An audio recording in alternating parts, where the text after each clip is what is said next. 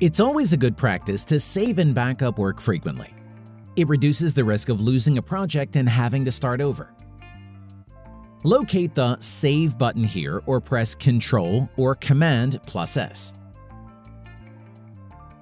When the Save Image dialog box appears, you may enter a name for your project in the File Name text box.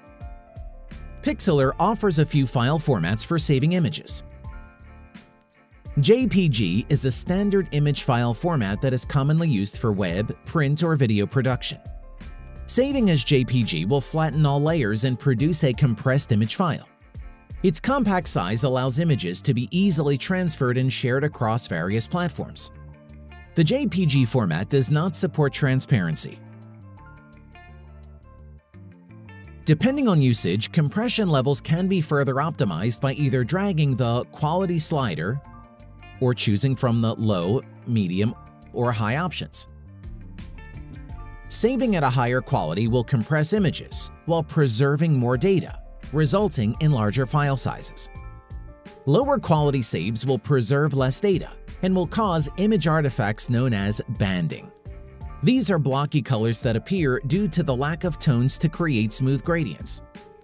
Banding will be severe if the quality is set too low, so it's good to balance the output according to requirements. For size optimization, type in new dimensions into the text boxes. This is also useful to maintain the project at its original dimensions, while saving a copy for specific size and usage. Download saves the file to the computer's default download location.